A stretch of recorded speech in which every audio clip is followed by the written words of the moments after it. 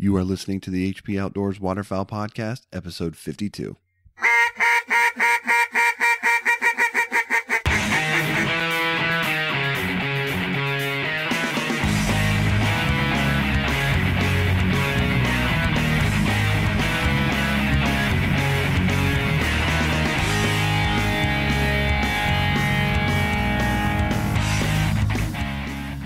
This week on the show, we're talking new products. We look forward to the 2016 waterfowl season and some of the new products that are on the market that we're looking forward to checking out this year.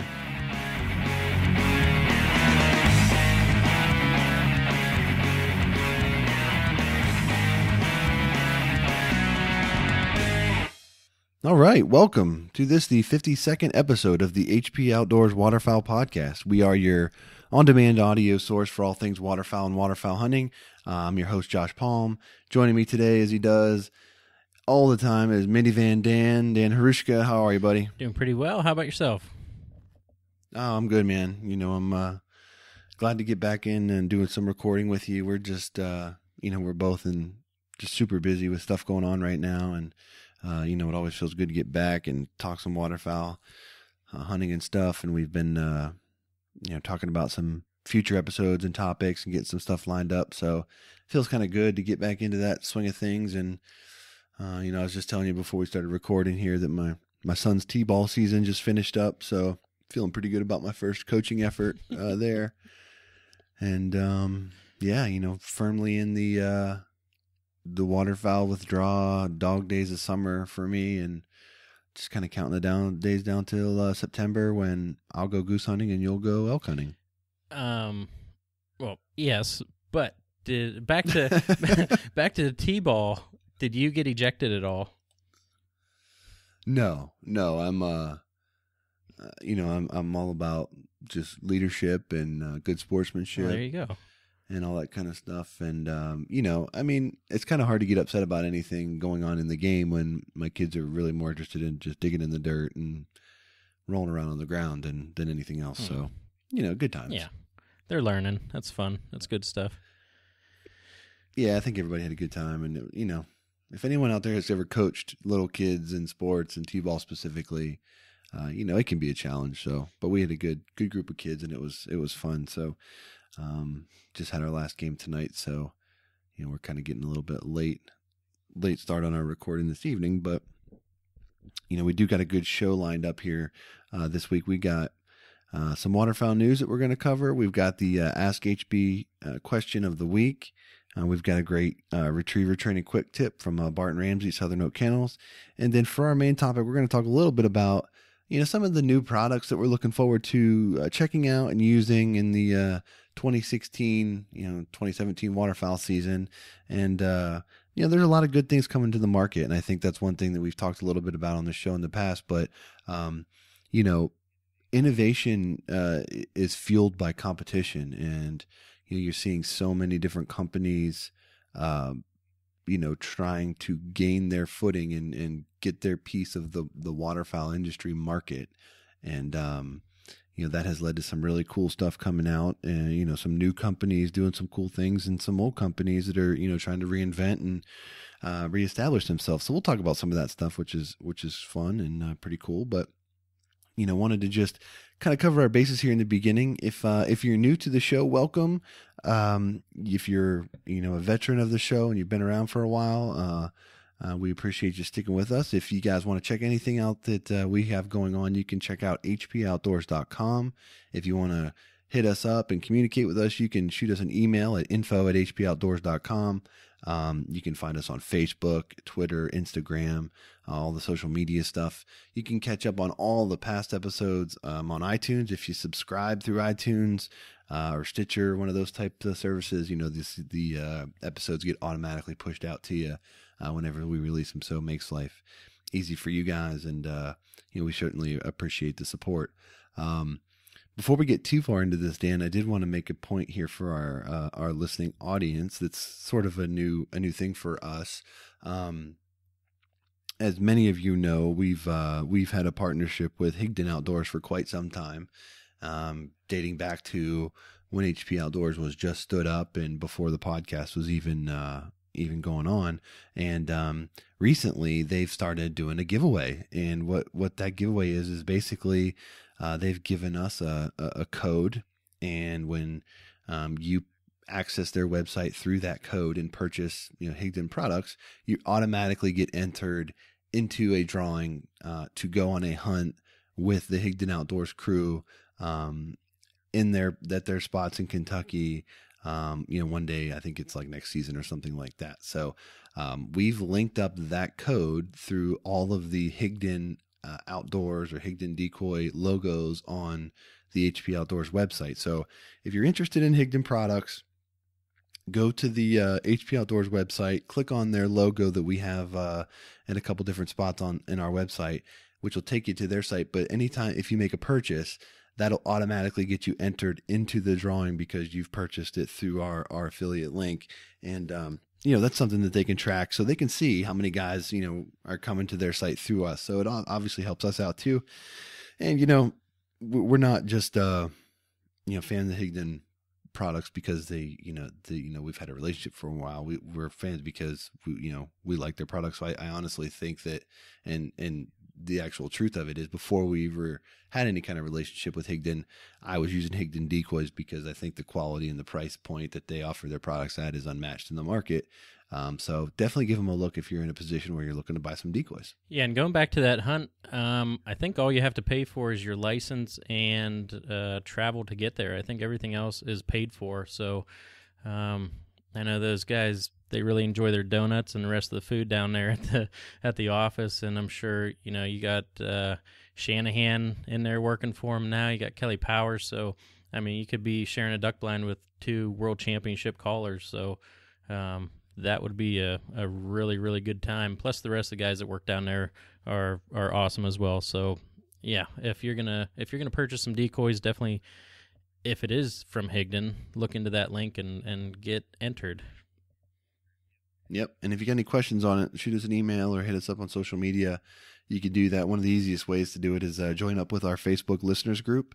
If you search uh, HP Outdoors Waterfowl Podcast listeners group on Facebook, uh, it'll come up and just request access, and we'll, we'll put you in. And uh, a lot of guys in there talking good stuff. And uh, you know, we were talking just before we started recording here tonight, talking, um, you know, with the guy about uh, you know slotted bags versus mesh bags and stuff like that for some decoys that he just got. So, um, if you want to talk shop, come over there and uh, join us, and we'll do that. I that. think we got So, uh, what we're up to like 300 in there now, Yeah, I think there's about 300 guys in there, give or take. So, uh, and and ladies. pretty cool. There's a couple ladies in there. oh, okay. I, yeah, I, I, I, I feel like I see the same guys posting quite often, but um, I know we get some some others that chime in um, occasionally as well. So I appreciate everybody being in there and, and welcome everyone else that is interested in joining in. Let's do it. So, um, all right, man, let's go ahead and roll in and get get into some of the show today, and uh, we'll start it off with a little bit of uh, waterfowl news.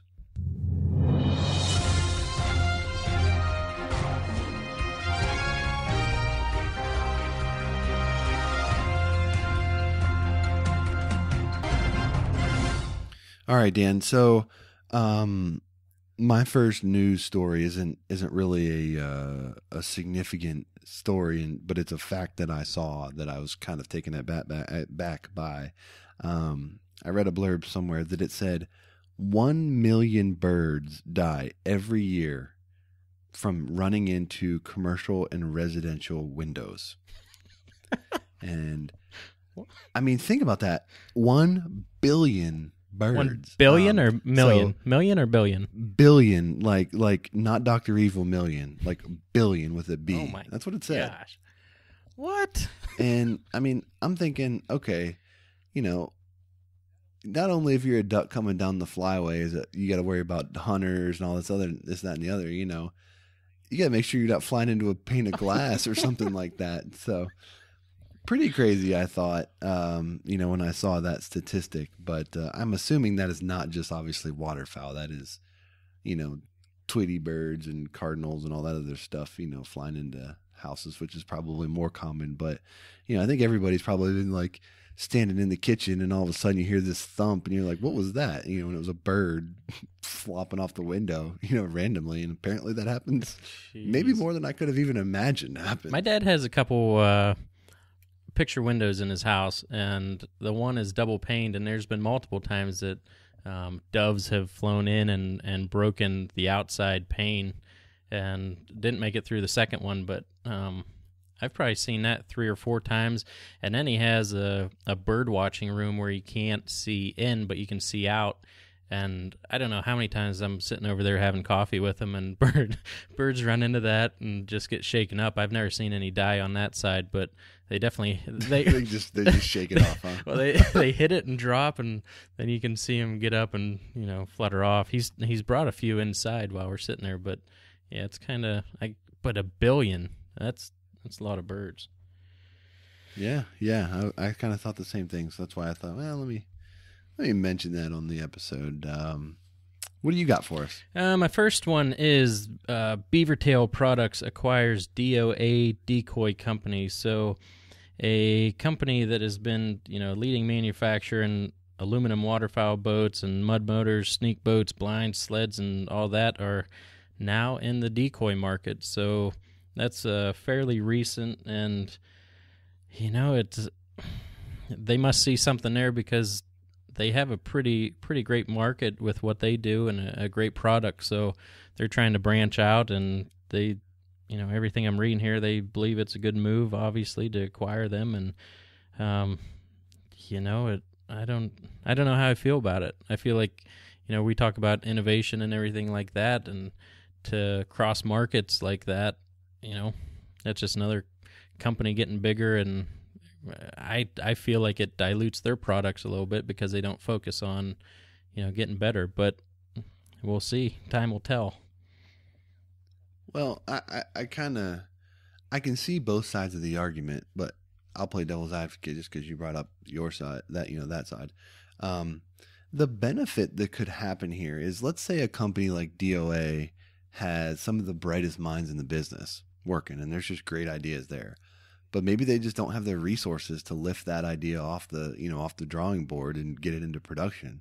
You know, to get acquired by a company that that might be able to put the resources into it that's required may fuel that innovation piece that we've talked about to a higher level. Now, obviously, the caveat here is, you know, you never know who's going to be running the, that part of the business and what they're going to do with it and, you know, that kind of thing. But, you know, I guess trying to be optimistic, that would be my hopes. I mean, you don't see a ton of, uh, uh, you know, decoy companies cannibalizing each other. You know, we we've seen a lot of companies buying each other out lately. You know, Zink was purchased, DOA purchased, um, Avery was purchased by Banded. You know, so there's been some consolidation, and that's probably more of a just a um, you know a reality of the of the market in in the economy type of stuff. But um, you know, the hopes would be that you know maybe we can't do it alo- you know do as much on our own, but when we pull our money together, maybe we can. Uh, you know, do something that's even That's better. true. So- And and Beavertail, you know, some of their sneak boats and whatnot are the hard plastic. So if they have the capability of, you know, the molding and the injection and everything like that, you know, they might be able to make some some uh, molds and and get Yeah, that might, super they cheap. might be able and, might be able to yeah leverage some technologies that they didn't have uh, you know on the decoy side and, and all that kind of stuff. So i guess time will tell. Um, but you know i wouldn't be surprised if this isn't the last we've heard of something like this. You know there's a lot of a lot of companies out there and a lot of decoy companies specifically and i guess everyone's just trying to find like i said their piece in the market. And if that means teaming up with somebody else that can give you a little more push up that hill you know i wouldn't be shocked to, to see that happen a little bit more frequently. But um so my second story uh, for this episode is you know we were talking again and kind of joking before this episode you know before we started recording about me being a prepper now. And i'm not a prepper as in like i'm digging a bunker in my backyard that you know I make my kids run out to and put hazmat suits on every day.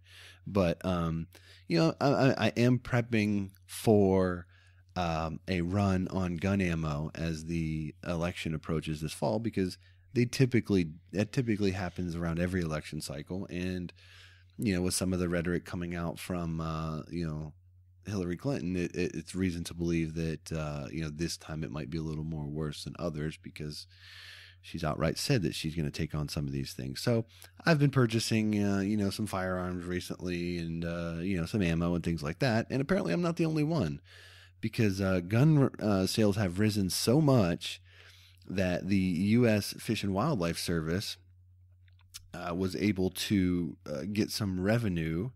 Um, through these through some programs to give back to the states for for conservation and, and things like that. So um, through the U.S. Uh, FWS, U.S. Fish and Wildlife Service, they're giving back 1.1 billion dollars um, from taxes that have been collected on hunting, shooting, fishing, and sort of other outdoor equipment. Uh, the money is going to be allocated to the state and fish and wildlife agencies to, you know, hopefully do good with. Um, you know, we all know that some of the states aren't run as well as we'd hoped, but uh, nonetheless, they're going to have a little more money to work with, and uh, the the funding is going to be broken up based on state hunting and fishing license sales. So, um, as you might expect, some of the prime suspects to uh, most greatly benefit from this this program is uh, Texas is looking to uh, receive approximately fifty million dollars. Pennsylvania, uh, approximately $34 million. Uh, in California, uh, approximately $40 million. So, um, you know, one of those things where, you know, uh, we're getting a little bit back for putting money into what we enjoy doing. So, uh, you know, I think it's a good thing, and hopefully the money will be able to be used uh, for a good cause and um, make some uh, make some headway in some projects that maybe wouldn't have been funded otherwise. I hope they get that Swamp Buster going back up here in Geneva. Right. That'd be awesome. And I don't know if it's a good program. if you can hear it, but there's a train just rumbling my house right now. That might be the loudest. I did. might be the loudest yeah, train I've ever I, heard in my life. Yeah, it was. It was quite loud. Okay. wow. All right. Well, that's that's awesome news, and you just keep rolling with the billions today. But um, going into the not billions but millions, talking about snow geese is my next uh, piece of news here. And really, the wildlife management officials are now trying to curtail the growth of snow geese colonies, colonies on the North Slope. Um, it's really getting out of hand. And I mean, they're talking last year they, they were counting about 12,000 nests. And in early 2000, there were only about 250. So you're talking 16 years, and it's you know the the population is doubling every three years, and they're saying you know even with all the piles of snow geese that people put on the ground, it is not making a difference at all. Um, on top of that, there's people in Alaska that um, these biologists pretty much watch the bears. They say that uh, never at one time can they see more than a half mile, and in that half mile, they they usually see four or five bears just walking through from nest to nest, just lunch buffet, just straight eating every single egg. So even with something like that going on, um, these geese are just growing at an exponential rate.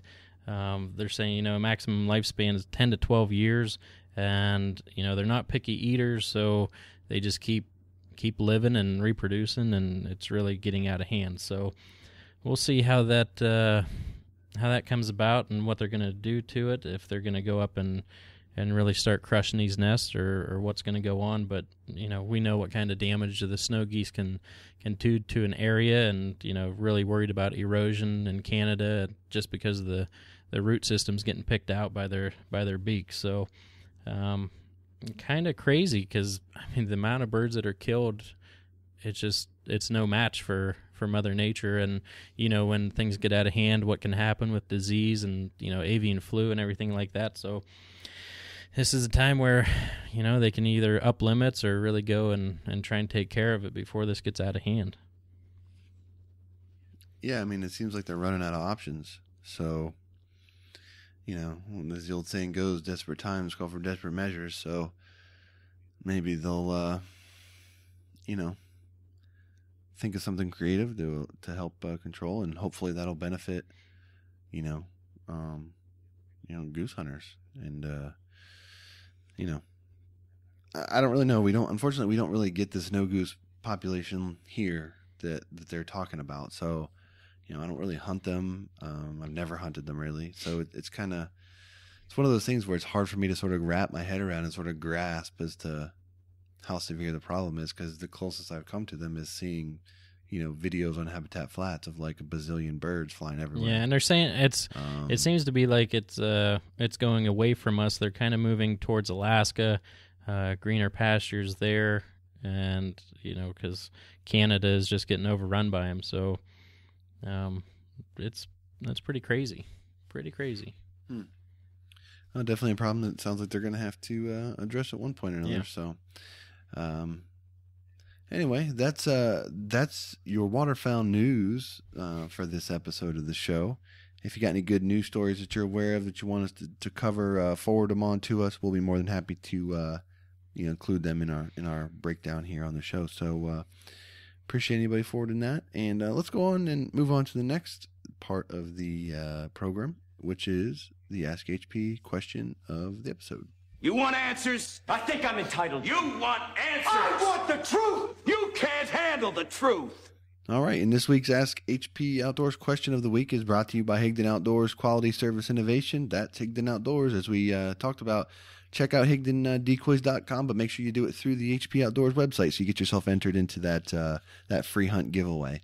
Um, all right, Dan. This week's or episode's question comes from Clay Meyer. Clay wants to know how we feel about lesser uh, and greater goose decoys, uh, particularly when hunting in fields. Uh, do we like to use one or the other, or do we mix them together? And kind of where do we stand on that? So I don't, I'll let you start. All right, yeah, they you know he uh, prefaced that question by saying that they hunt a lot of ducks, and this is coming from Ohio. So my first thing to say is there are so many freaking geese in Ohio. Start hunting them, and I need to get over there more than than what I have in the in the my history. But um, you know when when we're really talking about it, both of them kill geese. The greaters and lessers, they're gonna work. Uh, if you want to get super specific, you know, if you're running traffic, you want to you want to go bigger. I would say um, a bigger spread, a bigger anything to get their attention. You know, if you want to put a bunch of silos out just to to run that and you know get the attention of the the passerbyers. But um, if you're on the X or early season, I think lessers, you know, you could get away with that just fine. Um, you know, if you want to mix them, we mix them all year long and, and kill geese all year long. So, um, I wouldn't get too worried about it. I'd probably look for a deal and, and, you know, start your spread that way. Yeah, I, I don't think one way or the other it makes a big difference at all. Um, I've got lesser full bodies. I've got greater full bodies. Um, I, I use both. Mix them together. It doesn't matter. Uh, I when I look at this, I look at which ones can I find cheaper, uh, which ones are easier for me to carry, which ones are easier for me to store, things like that. So oftentimes I prefer lessers because uh, I'm usually not. Most of the time, I'm not really running traffic, and if I am, I'm bringing silhouettes. I'm not doing you know a million full bodies. So I, I really don't like full bodies that much anyway to begin with. So I, I tend to lean towards silhouettes. Anywho, but uh, you know, for field hunting, it's nice to have some full bodies, especially around the blinds. helps helps hide you, you know, better in your pocket. Um, you know, those kinds of things. Your greaters are, are nice because they do give you that little bit bigger body, but um, you know, I, I don't think you can go wrong either way. And I'm kind of with you. Look for the deal. If you're trying to trying to get the spread going, get what you can afford and, and get the best pricing on it. So, um, if you've got a different stance on greaters and lesser geese uh, when you're field hunting, let us know. We'd love to hear the uh, the you know the other points you might have, and um, you know we could learn something from you guys as well. Uh, Clay for uh, sending in the question and us using it on the show. Uh, shoot us your address and we'll send you out a free HP Outdoors uh, barrel decal, and that goes for anyone else. If you send us a question and we use it on the show, you will also get a free decal for your effort. So we certainly appreciate that. Appreciate that. Um, all right, man. We've it's been a, a, few episodes, or at least one. It could be more. I can't really remember uh, since we've had Barton on the show to share a, a tip with us, and um, this week I think he's got a really good one, and he makes some really good points. So um, yeah, I want to play the I want to play Barton's uh, piece and then and then talk about it on the other side. So uh, let's get to it in this episode's uh, retriever training quick tip from Barton Ramsey Southern Oak Kennels. Hey guys, this is Barton Ramsey from Southern Oak Kennels coming to you with your retriever training quick tip of the episode. And today I want to cover two specific issues. Probably sound a little bit repetitive uh, from some of the stuff I've said before, but I want to talk about two things that I see most commonly when people bring me their young dogs, uh, either to train or just to show me their young dogs when they come back to the kennel or they've uh, purchased a dog from somewhere else and they want us to look at the dog. Um, a few things that we see commonly with these dogs. Um, first thing that we see is dogs that haven't been worked at all. And so people have missed out on very key months of training. I guess the thought might be that, uh, hey, you know what? I'm just going to let a professional do this. So I'm just going to let the dog be a dog. And so for the first, I guess you take a dog home at, at two months of age. So from two months to six, seven, eight months, the dogs have not seen any type of structure. Uh, there's there's been no type uh, no no obedience training, uh, very little retrieving, maybe just some fun retrieves. No introduction to things like water uh, or birds. Uh, even very little socialization. They think the dog's well socialized because the dog loves them, uh, but the dog's not been taken anywhere except their house, and this is very detrimental to gun dog training. When you bring a puppy home uh, you should be doing some work. And we can get into what all that is uh, in another time, but there should definitely be things done with that dog. If not every day, uh, then every other day, you should be working with your dog. Uh, the best thing to do is just quick five minute training sessions with puppies. Introduce them to everything, take them everywhere, make sure they have good experiences. Uh, but there needs to be something that's done with your dog. Uh, and the second thing I see is people who have done nothing but the fun stuff. And so what people will do is they'll start with retrieving and they want to see how far and how fast the dog can go on to water retrieves and double retrieves. And we get that question a lot. People ask how long is training going to take? And you can tell people get in a big hurry and they want to do the fun stuff. I was reading a few articles on gun dog training last week and in every article um, multiple professional dog trainers were asked the question, What's the most common mistake that you see? And every single one of them, I think it was six different professionals, said people going too quickly, uh, too young with their gun dogs. And uh, I think I see this as much as anything. People want their dog to be doing the big dog stuff really quickly, so they start with how long and how far, and and they skip over so much basic obedience. And I tell people when they bring their dogs to us, don't expect to come back in a month and see your dog doing anything crazy because we're going to spend a lot of time building a foundation of obedience.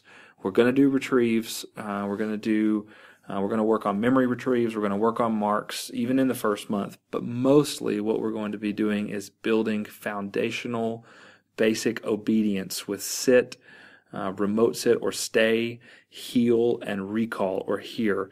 And we're going to work those things until we feel like they are 100% solid before we move on. And then when we do move on, we're going to keep going back to obedience. Uh, and so I see a lot of dogs that they're really young and they're really impressive because they can do some really crazy, great things and they can run really far on retrieves and they mark really well.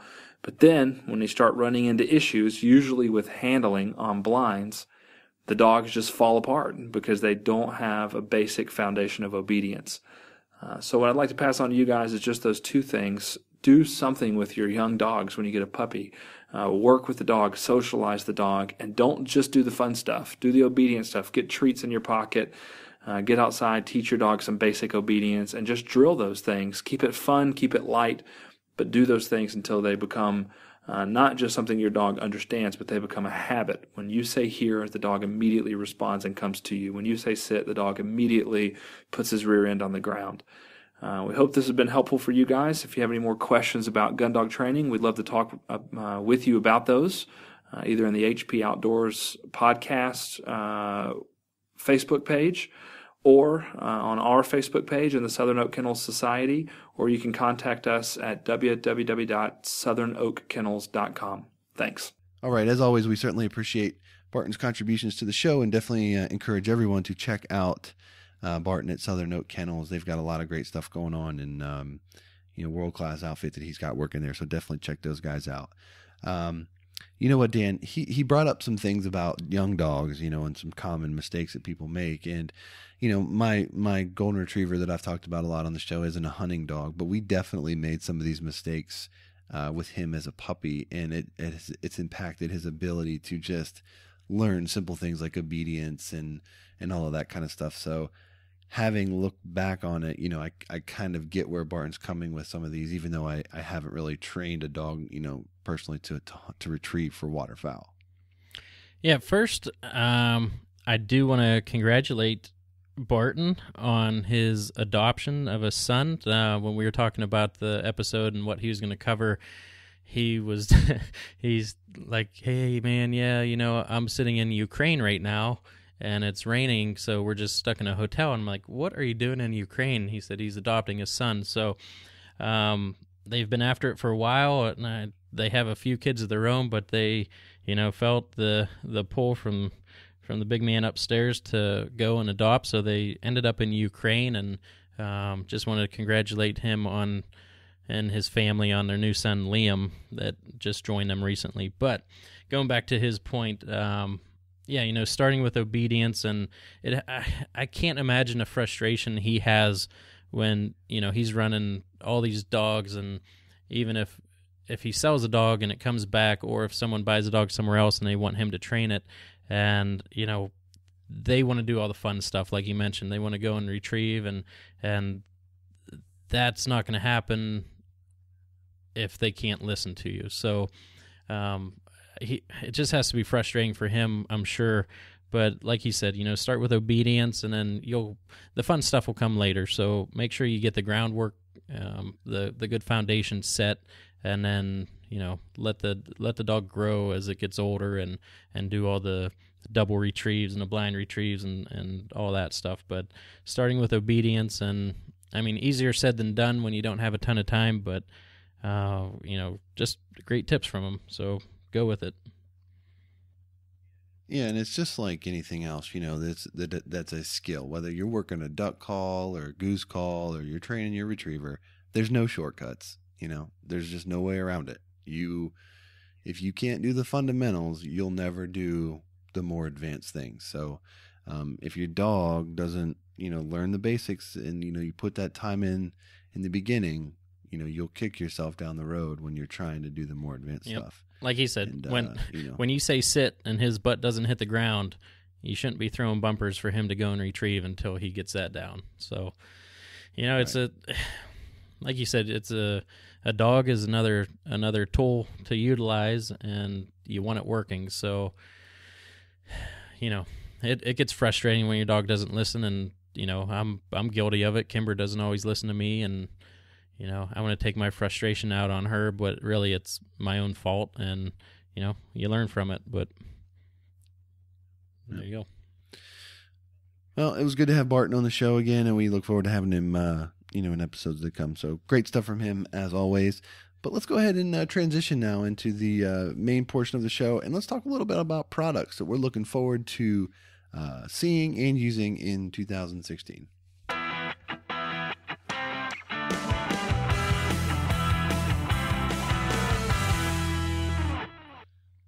All right, man. So this was, uh, you know, a topic that was kind of, kind of hard, kind of easy, kind of. I'm not really sure how to feel about it because, you know, I look at all the magazines. I've already talked about that, and you know, I'm I'm usually paying attention to what's going on in the world of gear to some degree, but I don't really go out and purchase a lot of new.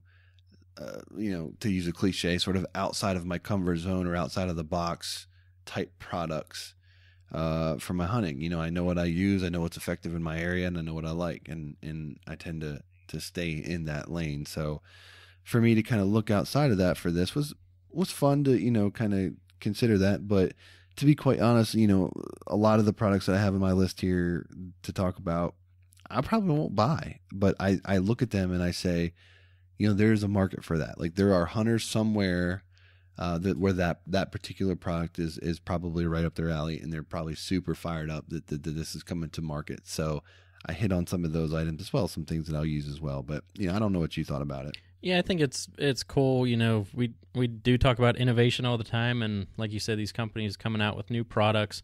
I think it's cool. Some some people don't buy new things for, um, you know, years until there's breaks, and some people buy the latest and greatest every single year, and they they trade their stuff in and upgrade or do whatever they feel like they want to do, and there's no problem either way. So you know, I've had my I've had my layout blind for I don't even know how long, probably nine, ten years. That Uh, thing's a nightmare. it is a nightmare. I mean, there's so much, there's so much gorilla tape and nuts and bolts and screws, and I'm just surprised I don't bleed every time I get in it. But you know, it it still gets the job done. And like I said, um, I could get a new one, but at the moment it's still working. But you know, some people get a new blind every year. Some people get a new gun every year. It's you know, in the archery, people get new bows every year. It's I don't know. You know, it's whatever you feel like doing. But uh, you know, it's cool. I think this is a a good episode. We have a few new products here, so we can get into them, and you know, it might might push people to go buy them, or they might think it's not a very good idea. So it's what we do. We talk about things. You want me? Yep. So I'll start. Okay. I'll start. I've got one that I know for sure that I will be buying, and I'm looking very much forward to this product coming to the market. And we've already talked about them a bunch on the show today, but I'm going to do it again because it's just the truth. The Higdon uh, foam filled standard canvas back decoy is number one seed on my to purchase list uh, going into this fall. Um, it's no secret that I've that I've found my calling in diver hunting. Uh, I love doing it, and I've also talked about how I do it out of a canoe. You know, so it's kind of a unique setup. But um, the canvas back decoys that I have currently are foam filled from Higdon, but they're the battleship uh, decoys, which, if you have the ability to hunt over bat- a battleship rig, more power to you, and it's going to benefit you because they're much larger and they're much more visible. My problem is I don't have the boat space to haul them out. So, for uh, what I can fit six of the battle uh, battleship canvas back decoys in that I have now, I'll be able to fit a dozen, perhaps almost a dozen and a half of the new standard ones. So um, I've been slowly transitioning pretty much all of my spread to just the standard size and not the the battleship ones, and I've been very happy with that and can make a nice little knot out there in the open water.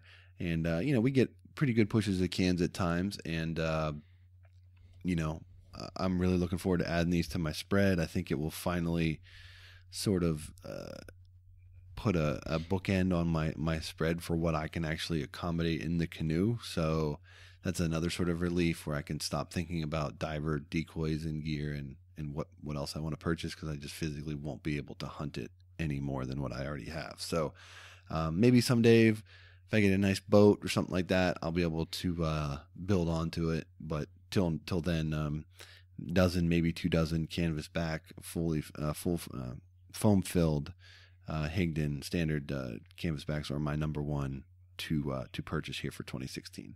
All right, so let's talk about the elephant in the room and you know the the ongoing bashing of my diver spread. And I did say, you know, we had a Allegedly, we we had a photo contest going on, which we ended up winning thanks to you know all the guys in the group, and um, I did uh, send a half dozen foam filled mallards out to Kansas. So um, I kept my end of the bargain on that, and I said that I would let you choose the first dozen divers that I purchased. So, what am I buying? Well, I mean, I, I think you probably should buy bluebills to to as your first dozen, because pretty much, for the most part, most anything will decoy to a bluebill. De- you know, uh, with some reasonable success. So. I think you'll be happy with. I think you'd be happy with some bluebills, but I think based on the pictures, based on the pictures you send me, I, I think you need to add some cans and you need probably some redheads in there, and uh, you know you'll be all set. How about buffleheads? I mean, you know, the buffleheads are interesting. They're they're uh they're a duck that a lot of guys will claim like to only decoy to themselves and that they're like racist bastards and stuff like that. Um, I have not. I well, I've I've had that experience, but I've also had them just completely ignore the buffleheads and land in the middle of my canvasbacks. Um, so I'm not sure that it matters that much. Does it help if you have them and then they see them? Yeah, it probably does. But does that do I think that they're going to flare on your spread every time if you don't have buffleheads out there? Probably not. So if you want to sprinkle some in, you, you should. I do, you know, because we get a lot of buffleheads around here, especially when there's no other ducks moving around. We'll get buffleheads, so I always throw some out there. But uh, you know, we're not trying to build a, a six decoy spread here, Dan. We're looking to a little more volume, few few more numbers. Uh, So uh, if you're looking for a good solid foundation, you know, most diver hunters are going to tell you you can't go wrong with the blue. Alrighty. There it is. First dozen marked down. I'll make a call here shortly. All right, my uh, my first product is the Dark Energy Poseidon, and this is a portable charger. It is ninety nine dollars, which right now they are running a Father's Day special at twenty percent off. Um, all the reviews on this thing are awesome. Uh, destruction tested. It has a What is it? it's What it is is, a portable charger. All right, so I thought it was like something out of a Harry Potter novel. no, so what this thing Poseidon or whatever you Dark- it is called the Poseidon. Um, the the charger cord has some 550 paracord wrapped around it in case you ever need that. But um, it has a light. It has a cable. Um, this will charge your phone, GoPro. Um, you know, your inReach if you have one from Delorme. Um, you know, pretty much anything it will charge. So uh, I know on multiple hunts, if I hunt anything, you know, from early morning till past 10 a.m., my phone seems to enjoy dying on me. So, you know, that's, I think it'll probably charge your phone like 16 times on one charge. Um, it has a flashlight on it, and I actually have purchased this item already, and it is pretty awesome. Um, it's probably the size of a, um, probably an a little bit bigger than iPhone 6, but not as big as a 6 Plus. So if you know the sizes of iPhones, it's right in the middle of that. Um, but it is it's pretty cool. So I know you know multiple hunts that my GoPro has died on me too, and I don't know if that's a battery issue or I just don't charge it fully. But you know to have that in my bag and um, waterproof, dustproof, all that good stuff. So um, that is my first item, and I have used it, and I I recommend it. So there you go. Yeah, your phone is always dying on you, so you'll probably get a lot of good use yeah, out of I don't know what that's about. I'm trying to pick up Wi-Fi and I Hmm. never turn it off or something. Yeah, that's probably true. All right, so number two for me is probably something that I will not use, but when I saw it, it caught my eye, and um, you know, it, it it's a it's kind of a gutsy move, I think, by this company to to bring this product out, and that's the uh, the heavy teal, you know, the teal version of heavy Hevi-Shot, and uh, they're offering this Hevi-Teal specific um, in number five and number six and two and three quarter and three inch shells, fifteen hundred feet per second. Pretty good price, fifteen to seventeen dollars per box. But you know, I saw that and I was like, man, this is a company that's really sticking their neck out there on a, uh, you know, for a, a targeted species that, um, you know, like around here. I mean, we may see some teal in the early season, and we may get a few shots, but I mean, it's not something where I'm buying specific ammo just for that opportunity. And I know that there are areas where they get pretty good teal pushes and all that kind of stuff, but I thought it was interesting to see a company sort of, you know, breaking it down to that level, um, you know, with this product offering because obviously it's not cheap for them to do that. So they're taking a risk, or they at least feel that there's a, a good market share for this. So um, I guess we'll see if that if this effort bears any fruit. But you know, um, most people, uh, at least none that I know, um, really go above a four for ducks. You know, most guys are shooting somewhere between two and four from what, you know, at least my personal experience. There may be others that, you know, do this kind of thing that I'm not aware of, but, you know, I think this is a little bit outside the box uh, thinking on their part, and uh, we'll see if it's if it works. And you know, um, it's not on my list, but Black Cloud has the uh, Snow Goose cartridge now too. So it's like um, kind of the same thing. I imagine that more people hunt snow geese, or more more shots are fired at snow geese. I would think maybe, maybe not. Yeah, I mean that that makes sense because you're you're, you're selling a you know a product to a hunter that in the conservation season can put an extended magazine on his shotgun and put 10, 10 cartridges in in one round. right. You know, and he may shoot all or most of those in one volley, depending. Um, so, you know, I, I I mean I guess I could see the the specific uh, marketing of it, and I mean at the end of the day, you know. It's going to pull some people in. You know, there's going to be people that sees it, see it on the shelf and said, "Hey, I'll give it a shot." You know, and you know it'll work to some degree, but you know it's interesting, different technique.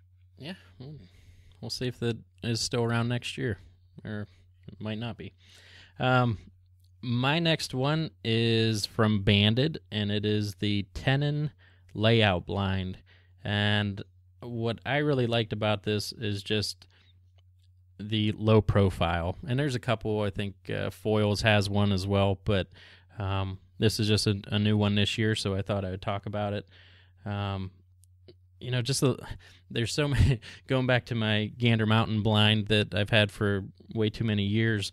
You know, you really do have to worry about shadows and you know making sure you have some bigger decoys around you just to to not throw the shadows or kind of blend in a little better. So this thing, you know, it, it goes out a little further, and um, I imagine that there's some um, some pegs to hold the sides down, uh, but you know, might be a little bit more brushing, but I think it's definitely worth it to to not have the shadows and and really get into a good hide.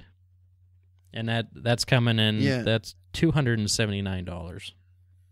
Yeah, that the, I mean that's a that's the thing. You know, if you're a guy that's a you know a normal Joe and you're uh you know in need of a new waterfowl blind, you go to Gander Mountain, you can get one for hundred bucks, hundred fifty dollars. You know, or you buying a two hundred seventy nine dollar banded one. I, I don't know. Um, you know, that's a lot of cash. Uh, maybe you know it could be worth it. You know, I don't I don't know enough about it to to really say one way or the other, but you know, I think that's the thing that a lot of guys have to consider. And, you know, it could be really popular with like guides and things like that, where they're using them day in and day out and sort of that, that sort of thing. But, uh, you know, like you mentioned, it is a concern if you're going to go the uh, less expensive route, you know, you gotta, you gotta account for the fact that you're going to be sticking up out there in the field and you gotta make arrangements to make sure you can still get a good hide and, and, and make it worthwhile. Yeah, while. and so. the back of this, the back of this, the max height is 16 inches. So, um, the front height is 11 inches, and you know, it goes down from there. So it blends right into the ground from from those heights. So, you know, it looks cool. I think it would it would definitely work if you're hunting some some fresh cuts or something like that. But uh, you know, the price 280. You know, like I said, some people buy new every year. Some people don't. Uh, new product. Yeah, that's the thing. If you're going to use it for 10, 15 years or whatever, like, you know, you're using these Gander Mountain ones for, I mean, when you look at it, the cost over that time, I mean, you know, it's worth it. So it's all in how you look at it and how you approach it. But it is, Banded has always been a company that's kind of been a little more progressive in their blind designs, I think, and trying to get that low profile, low shadow approach. Uh, it's something that you, you've seen from them a lot. Um, let's see here. What do I got next? Um, so my next one is is a product that I won't buy, but uh, is something that I found interesting, and it's the uh, new offering from uh, uh, Remington, the V3. I don't know if this is new for 2016 or if it's new just to me, but you know, I, I'm just now noticing these ads for this gun, so I kind of looked at it a little bit closer, and you know, it's going to be offered in a two and three quarter and three inch 12 gauge. So, um, you know, I think that as we've talked about on the show, uh, the pocket for a lot of uh, hunters is that three inch 12 gauge. You know, um, of course, there's plenty of guys that shoot three and a half, and and that's all fine and good. But I think that um, you know this offering from Remington, uh, you know, for a long time Remington was, you know, it didn't get much bigger. I mean, uh, you know, you, you, there's there's you know who knows how many people are in the same position I am. They can say the first shotgun that they ever were bought for them by their dad was a Remington 870. You know, I mean, there's probably a lot of guys out there, and probably a lot of guys out there. The first autoloader they ever shot was an 1100 or something like that. You know, Remington used to be, at least in my opinion, held up there as you know one of the pinnacles in the, the industry. And then, you know, for whatever reason, you know, it seemed like they had kind of fallen from that pedestal to some degree, and uh, you know, they made a resurgence there with the VersaMax, and you've got some guys, uh, you know, guys that listen to this show that we know stand by that that gun and swear up and down by it. And then I've heard others that, uh, you know, say it's not even worth using as a boat oar to paddle their boat back in. so, um, you know, it really has been kind of like Jekyll and Hyde with that gun. It seems like you know, some guys love it, some guys hate it. Maybe that's the way it is for all the guns. But it seems like with the VersaMax specific, specifically, uh, you know, there was a lot of that conversation with gone. So, I guess where I'm going with this is I want Remington to be a leader in the industry. I think it's good for everybody. Um, you know, waterfowl hunters, rifle hunters, everybody. When Remington is, you know, producing good quality products and pushing that envelope of uh, engineering, it just helps lift everyone. You know, it's what do they say? You know, rising, rising, rising seas, burn, you know, raise all boats or whatever it is. Um, I think Remington's the type of company that is, is good for business for everybody, and uh, I'm really hopeful that this V3 will be a successful offering from them, and uh, you know, hopefully something that they can t- can can build on and continue to uh, sort of reestablish themselves as a leader in that in that role. And I do have to say that just about any gun would be pretty bad as a oar for a boat. You know, It was a, it was a metaphor a metaphor there, Dan. Uh, all right. Um, next one is coming in from Sport Ear. It is the X Pro. This is a twenty one ninety nine dollar earplug. Um, you know, some guys they don't wear earplugs because they say they can't call with it or they can't, you know, they can't hear everything, whatever the case is. I wouldn't even I wouldn't even say some guys. I'd say most guys don't. Yeah, and they they really should. This one, um, you know, this isn't your five hundred dollar or you know twenty five hundred dollar earplug that you can, you know, turn on and off. It's a twenty one twenty one dollars ninety nine cents. Um, it does have a push button that I think, uh, if it's opened up, that it's like 15 decibels, and if it's closed, it it cuts uh, 30 decibels. So, um, you know, you still could get some hearing damage from it, but for the guys that still want to call or be able to talk in a blind and not spend a ton of money, this is a uh, a very good product. And I've used it uh, shooting in the backyard here. I haven't used it in the field, but I have called with it. You can call with it, and it really, yeah, it it's almost the the best of both worlds. And especially at 20 $22, you can't go wrong to try it out. Yeah, I've used the product too, and quite frankly, I couldn't even tell the difference when the thing was open or closed. To be honest with you, uh, maybe I just you know I don't sit them in my ears quite far enough or whatever. But I mean, the reality of it is for me, whether I got something in my ears a little bit or a lot of it, like it, you know, calling with something in your ears is an adjustment. It, it's it's not the same, and it's something you have to get used to, and something that you can you can work through. But um, you know, we've talked about hearing protection on the show before, uh, at least a little bit, and you know, I don't want to like do a soapbox today on that, but all I'll say is, you know, when it's gone, it's gone. Um, so it's worth protecting.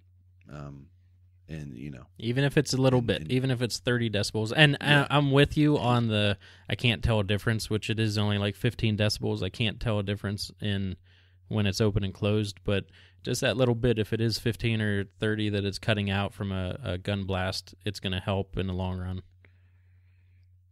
Yeah, and I mean sometimes I'll have ear protection in and I won't have it jammed all the way in. Uh, you know, just so that I can talk or it's a little bit easier for me to call and yeah, I'm not getting full protection, but I'm getting at least some and like, you know, just like I said, when it's gone, it's gone. So uh for me it's worth paying attention to, but um I agree with you. It's a it's a more affordable product that they're they're trying to you know, uh, be somewhere in between the high tech cost a lot of money to to to to get or the foam things that you pull off the you know production line at work kind of thing so it's built for a little more comfort functionality that kind of thing so um, it's good to see that there's companies you know making that making that kind of push Yep, yep. Um, okay.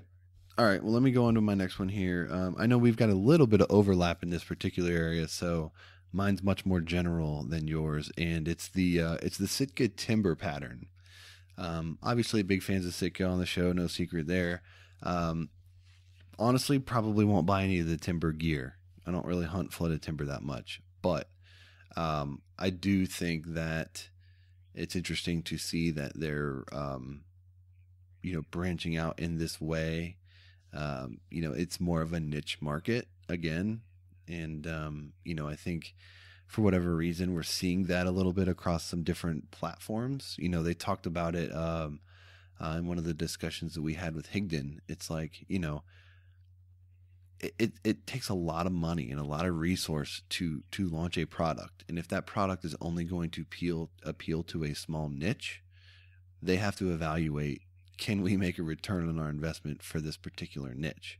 Well, obviously, Sitka feels that they can in this timber niche. So I'm really anxious to see, um, you know, what this leads to as far as innovative new products and and uh, you know their first iteration of the uh, elevated pattern lasted a few years and they discontinued it and relaunched into the elevated 2 pattern so i'm interested to see what this does for the waterfowl camouflage line with Sitka and uh, if that will if the the timber pattern will lead to a rework of the original pattern in the next couple years and uh, you know all of that kind of stuff. So I'm interested to see where the company goes with this uh, pattern that would appear to be more of a niche, you know, for me than uh, you know than maybe some of the other stuff they've offered traditionally. Yeah, I don't. You know, it it's darker than what we need up here. Um, but like you said, it's niche, and, and a lot of the guys down south are excited about it to to get into timbers or sloughs down there. So um, I'll I'll continue with Sitka, and um, they came out with the the layout pant and jacket, and we've talked about it before, and we are kind of against uh, going with any of the bibs, the Gore-Tex bibs, because you're spending so much money, and then you're going to be walking through cut corn, and um, you know it you spend that much money and get a get a good gash in it, and it's you know not what you are expecting. So um, what they came out with now, uh, really heavily reinforced, pretty much from your thighs down. Uh, to resist any kind of cutting from cut corn or anything like that. It's Gore-Tex on the back. It's insulated on the back, so if you're laying against cold ground or anything like that, um, you're going to be nice and comfortable. They have a couple, you know, call drops on the jacket, so everything's right on your chest when you're laying down. Um, you know, it's it's pretty cool. It's innovative. Um, they're expensive, like everything with Sitka, but if it's something you do a lot, it might be something worth looking into. Another product they came out with is the caller's glove, and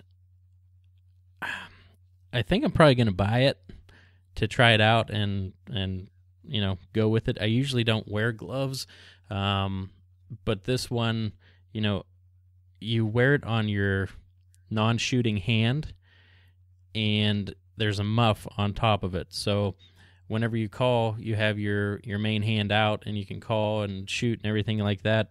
But when it's cold, you have a muff on the other hand's glove. So um, really cool. Ninety nine dollars Gore-Tex. So if you're throwing decoys out and it gets wet, no problem. Um, just cool. Something that um, innovative again, and and I'll have to test it and maybe write a review on it. Yeah, it's always interesting when you uh you know, you're looking at shopping in gloves and they're sold like individually. Yeah. you know, it's not sold as a pair. Yep. Um so something you got to kind of think through before you Yeah, so if you're interested in making that purchase. if you shoot right-handed, then you want a left-handed caller's glove. If you shoot lefty, then you want a right-handed caller's glove. Just so, I mean, it is it's quite insulated, and and the muff on top is you know it's big enough to stick your other arm in. So, you know, you deal with a little bit. Uh, the first reviews when it came out, everyone was complaining, said you know you definitely need two hands to call with. Um, you know, you have that one hand up there as a guide hand. If you're competition calling, you definitely, I would say, need both hands. But if you're calling geese, I think you could geese or ducks. I think you could get away with it, and they think the the same way because they put this product out and they think it'll be successful. So something new. Yeah, guess time will tell. Um, all right, I got three more things to note. Uh, the next one I definitely won't be buying because it has to do with boats, and as we've talked about, I'm um, I'm in the canoe game right now. But um, you know, I, I don't really have a specific one of these products to talk about, but it seems to me that if you're a guy that's hunting in the delta areas or something like that where you need a mud motor, that it's never been a better time to be a you know a duck hunter because you know when I get these magazines and stuff like that and I'm looking through them you know, there's never a shortage of different mud motors and options and companies and horsepowers and all this kind of stuff. Um, so it really seems like that um, the motor industry has picked up, which you know is telling me that that the the lifeline of these companies, which is the waterfowl hunter and the waterfowl community, is strong. You know, and and these products are coming up everywhere, and they're pushing the envelope, and there's obviously a a strong amount of people buying these products. So you know, it's it's good for for me to see that because, like I mentioned, you know, for us and we're hunting big water, uh, a mud motor is not going to cut it. You know, we need something that's going to be down in the water all the time when we're in the chop and all that kind of stuff. So, um, you know, I know that mud motor is even kind of like we've talked about. It's more of a niche thing for certain areas and the types of hunting you're doing, but you know, it just seems to me like there's no shortage of choices and good choices out there if you're uh, if you're in the market for a mud motor. Yeah, I I hate looking at at them because I want them, but also, I mean, it seems like in the last couple years the used boat section is just exploding. It seems like there's so many good deals on on decent sized boats with motors, so yeah, keep buying them and keep selling them and you know, we might end up in some new boats or new new used boats. New to new to me right, boats. new to new to us. I gotta just get my I gotta just gotta get my HOA to allow me to store it in my driveway, and then I'm and I'm all in. But till till then, it's not it's not looking good. Uh, no, the wife won't go for a diagonal parked duck boat in your garage. Yeah, we tried that once. Didn't didn't go over so good. So Uh, that that one ended up on Craigslist. Uh, all right. Um, my next one is dealing with coolers, and I'm sure that everyone has seen a Yeti hopper, and Bison Coolers has came out with one too. Um, you know, I think it's pretty cool. It's easy to carry. Uh, still holds ton of ice and drinks. If you know, if you are doing the teal hunts in Texas or whatever it may be, the September hunts up here get hot, and you don't want to carry a giant cooler out in the field with you. Um, you know, they're they're pretty neat to have. Uh, they are expensive. I mean, you're talking the smallest Yeti hopper, the 20 is coming in at 300 bucks, but you know, it depends how bad you want a cold drink or if you just want to throw one in your blind bag with you. Um, I won't be buying either one, the Bison or the Yeti, just because it's too much money. I can't justify that, but you know, some people have already. I've seen them floating around Facebook, and and people really enjoy them. So if it floats your boat, that's something that, uh, or or your canoe, it's something you might want to look into. hey, canoes are boats too. Hey. Okay, man, don't don't disrespect. I'm running a boat. I'm running a canoe too. you know, um, the the Yeti thing is interesting because, you know, um, I honestly I can almost I I can almost justify a a a, a, a hopper type product more so than a regular cooler, um, just because, you know, yeah, I can use my cooler uh for certain events and certain things, but I don't use it that much. Right. But a hopper, I mean, I could use that in hunts and stuff like that. But I mean, I could take that with me to the ball game. I could take that with me when I take my son to the playground, you know, or you're at a softball tournament or whatever it is. And it's just easier to carry. You know, it's Right. not the big coolers that it takes two guys to carry and they're, you know, cumbersome and all that kind of stuff. This thing you sling over your shoulder and go. So, you know, if, if you're interested in one and you like one and you're trying to sell your old lady on it, you might be able to, you know, show her how much use you're going to get all out of the blind and then um, you know whenever you want to use it for sporting events you, you know you got it locked up but you got to also take it with you to the uh, you know the tailgates on saturday mornings for college football and all that kind of good stuff and they But, they you know, do. I was looking at them today, and they have a, a little pouch that you could add on for like thirty bucks. That's waterproof and you know unbreakable. That you could put uh, your keys or phone or anything like that. And so if you do take this out and you know it starts raining, you don't have to worry about that. So you have a little a little dry bag that's attached to your cooler. So I thought that was just as cool as the hopper itself. Yeah. And I mean, for, let's be honest. I mean, what's not expensive these days? You know, it seems like everything uh, is just expensive. It's hard to get. and stuff, it really, I mean, you know. you you pay for you know what you get. So I you know uh, going back to the sit good, and we've talked about it before. If you want to be comfortable and in good gear, you're going to pay for it, and it it is what it is. Right. For sure.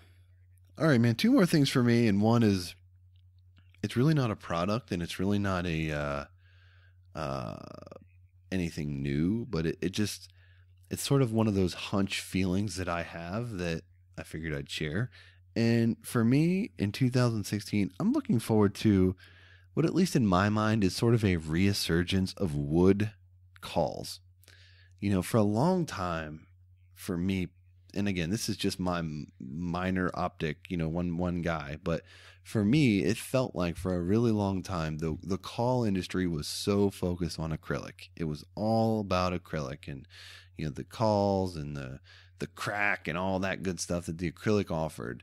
Everybody wanted to push that. And you know, it seems to me that now, for whatever reason, I'm noticing more wood calls and more of a resurgence of wood calls in the market and more people valuing those mellow less abrasive so- sounds and tones that a wood call affords you and um, you know to you know it's literally music to my ears in that sense because that's how I am and I love I love the sound of wood calls and I'd like to add another uh, you know uh, wood goose call to my lanyard and um, you know if there's more options to choose from out there I'm seeing some you know some of the bigger companies you know um, doing more custom engraving type work and some really intricate things which i think is really cool. So uh, i don't know maybe i'm on an island here but it just feels to me like there's a little bit of a resurgence happening here and i'm, I'm all for it. You know, it makes me think that it's almost I you know I work in the oil and gas industry is my main job, and it's very cyclical. Like right now, you know we're we're slow because you know oil just broke back over fifty dollars a barrel, but it almost seems like you know everyone used to use silos and then you know went to the full bodies and now a lot of people are going back to silos and i feel like the calls are the same you know and it might be people are adjusting to the birds. Everyone hears that loud crack. All the birds hear the loud crack of the duck call or the goose call and you know maybe the mellower sound it, it's might be more natural to them you know if it's a quiet day and that's something that that they like more and and you can definitely utilize it. So you know be being different and getting away from the acrylic might be a way to to fill your strap up. Yeah i mean you know um, i hunt primarily over water a lot of times i mean i do some field hunting but usually when i'm field hunting i'm hunting fields that are a little bit smaller wood wood lined things like that so if i cut loose on an acrylic call it just echoes down through the woods and doesn't sound natural. You know, I'm not running traffic on these big fields where I'm trying to like call birds out, you know, from open areas and stuff.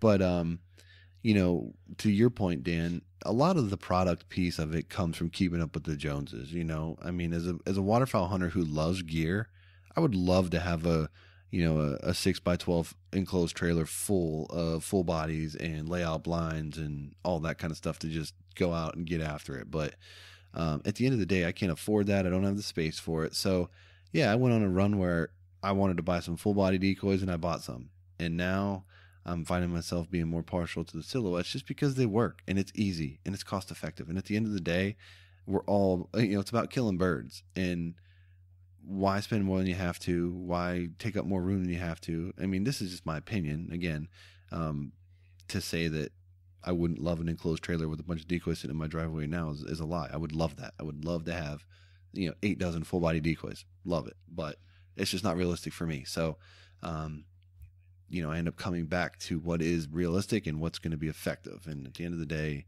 you know, if I'm only getting one or two days a week out in the field, I'm not going to be on freaking outdoor channel anytime soon. You know, busting deco- you know, busting birds, eh, you know, up in uh, Alberta or wherever over these massive spreads and bean fields.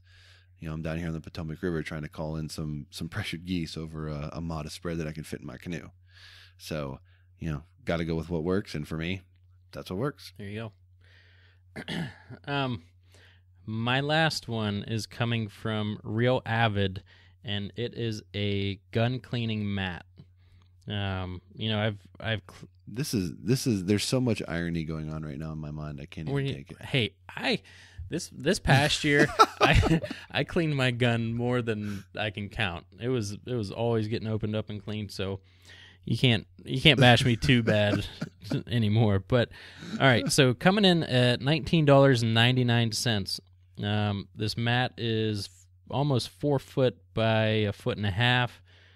Um, it is has a oil resistant work surface uh, and a tray to keep your parts in. So, you know, there's a lot of times that I want to clean my gun, and you know, I want to be upstairs in the in the kitchen on a kitchen table or something like that, uh, and I usually throw a towel out. Um, if I get oil on it, then you know, the, the towel's pretty much done. So I have one that I usually use, but this one's you know oil resistant, has a parts tray to keep everything in. It's long enough for a long gun, for a shotgun to take everything apart, clean it up, roll it up, and put it away. So for twenty bucks, um, you know, it's padded. I think that it's, I think it's just a, a cool product. I'm sure that it's not the first one out there, but it's a new one, and that might be one that I do purchase just so I can come up in the living room or the or the kitchen and and do my work. Yeah, and your wife won't get mad at you taking all the uh, bath towels and getting gun oil spilled on. I do love that smell, but it's definitely not a after shower musk that that I'm looking for. Yeah, she's like, "Oh, what's that new cologne? Oh, it's Hoppe's. Don't worry about it." yeah. Um, no, that that's good. You know, I think everybody. Well, I can't say everybody, but there's a lot of guys out there that are guilty of not as efficiently cleaning their gun as they should. So, uh, definitely something to consider if you're looking to to step up your game there. But uh, for me, last one.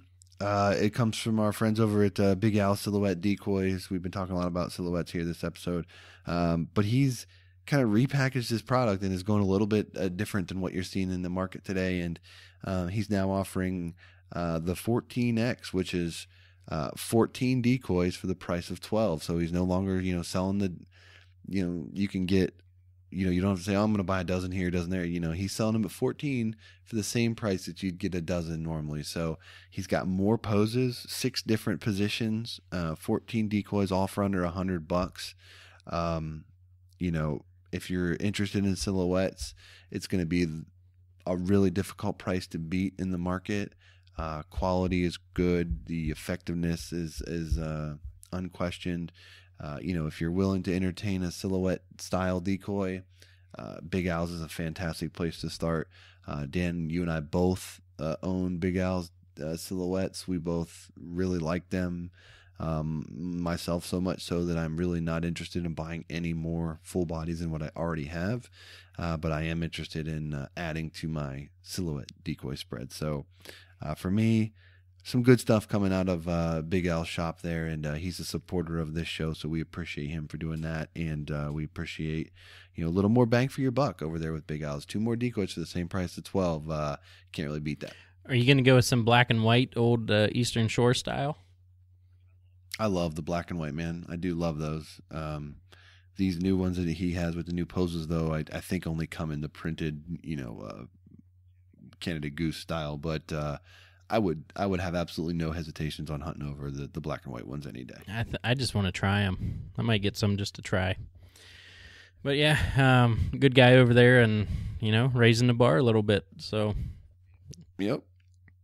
Can't beat Nope. that. So those are those are our products here. You know, kind of some new, some old, some uh, you know, just sort of our thoughts and philosophy on them. But that's kind of what we're looking for moving into 2016. And uh, you know, when you're in the the off season here and kind of trying to fill your days thinking about waterfowl hunting stuff, a lot of times you know new products that you might want to have on your wish list come up. And uh, maybe we mentioned a few today that are on yours, and uh, maybe we uh, mentioned a few that will now be on yours after uh, hearing this episode. So if you've got any other ones that you're eyeing up, we'd love to hear it. Uh, send us a message Facebook, Twitter, Instagram.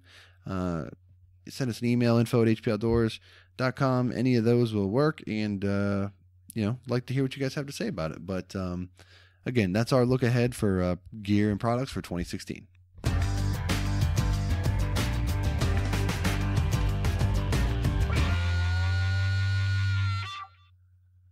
All right, man. Well, we're here uh, kind of at the end of the show.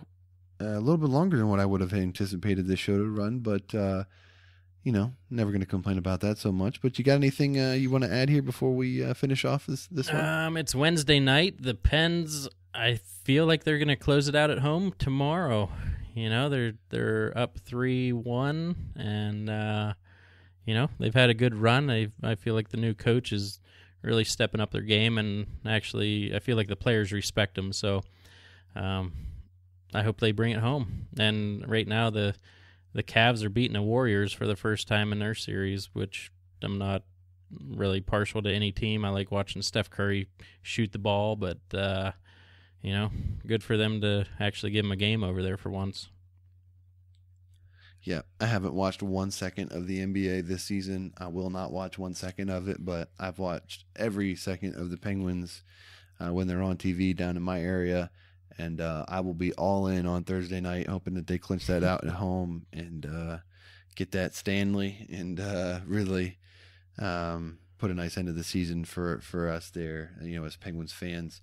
And um, yeah, this episode will be coming out on Monday, June thirteenth, which just happens to be my birthday. Oh, so, happy uh, birthday!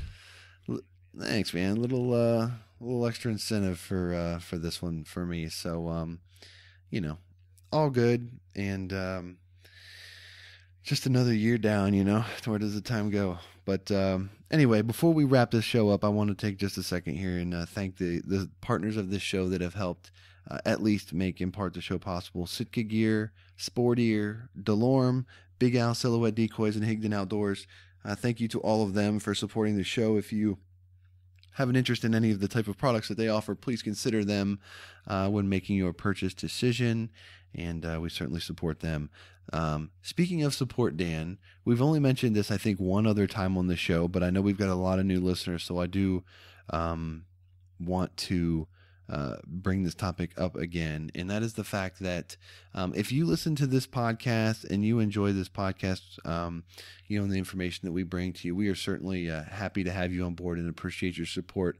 Um, having said all of that, uh, this show obviously does cost us money to, um, you know, stand the website up and keep the web files up and all that kind of stuff that just make it happen, you know, for you guys on the other end to enjoy. So, um, if you are so inclined to help uh, support the show in any way, uh, you can do that through the HP Outdoors website on the podcast page. There is a uh, a PayPal area there where you can donate to the show.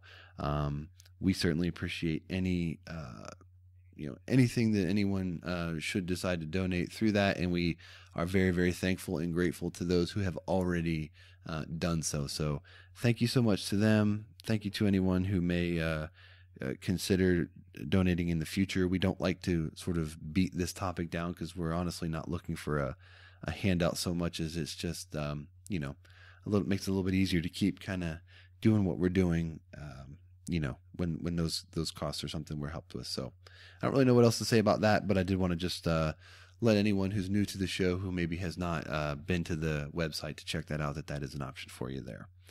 Um, anything else, Dan? Before we go ahead and close up. Um, I don't know. Today I think the high was maybe 60 degrees and tonight it's getting into 42 i think is the low had to get your weather Dude, you had to get your I, little I, weather piece i in did i feel like Brick Tamland from Anchorman, but but, but uh no, it really like I I mowed a little bit after work today and I was like, man, it feels like this weekend I should be out hunting geese, but it's not the case. So we we got some time, but uh yeah, let's we'll be putting out some more episodes here. Got some good guests lined up and I'm excited to get back in the in the swing of things here. Yep, absolutely. So, all right, let's put a button on this show and um, you know close it out in proper style.